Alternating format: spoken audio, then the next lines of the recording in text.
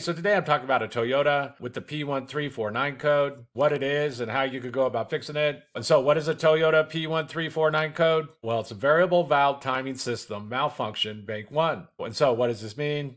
Well, basically, modern vehicles have what's called variable valve timing, which can adjust the timing of the engine while it's running. And this has many benefits. It can give the engine better performance, better fuel mileage, and things along these lines. But when you get this P1349 code, the computer's seeing a problem with this system. And so it's going to have to be troubleshooted to know why.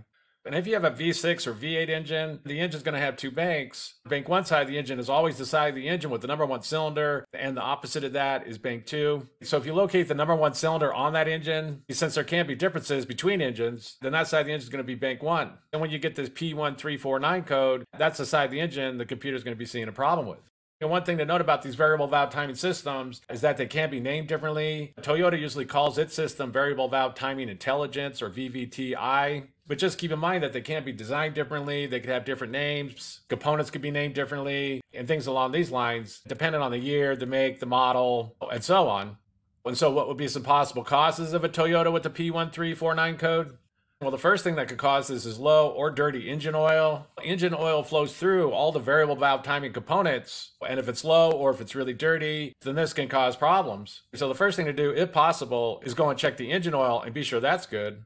The next thing that could cause this is a bad variable valve timing component, such as the solenoid or the actuator. There's going to be a solenoid on each cam of the engine.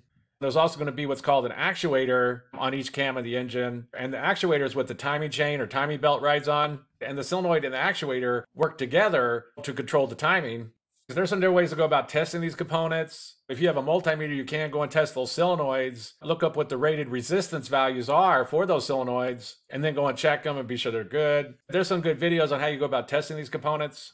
Another thing to mention that depending on the system, there can't be a small little filter that's inside there. And if that gets clogged up, then that can also cause problems. Again, be sure to get a diagram for your specific vehicle. That way you know for sure what's going on. But if there is one of these little filters in there, they get clogged up, it stops the flow of oil, and that causes problems. But the next thing that could cause is that there's some kind of issue with the variable valve timing component. And the next thing that could cause this is any kind of wiring problems going to the variable valve timing, mainly to the solenoids. If that variable valve timing solenoid, if the wiring going to it has it open, short, anything like this, then that's going to cause problems.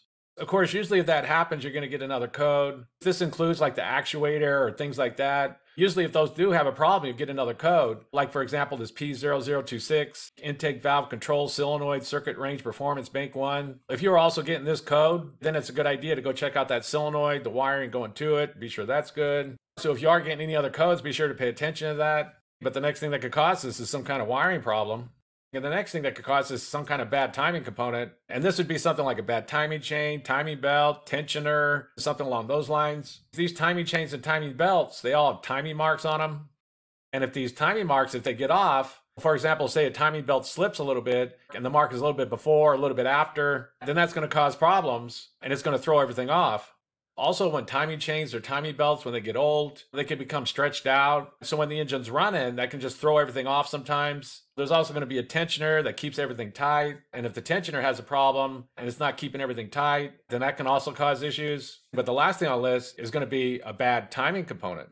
And so that's basically it. I just wanted to give a basic overview of how you go about fixing a Toyota with the P1349 code. If you have anything to add, please comment down below. If you have any questions, ask me and I'll try to answer them. If this video helps you, please click like, please click subscribe, and have a good day.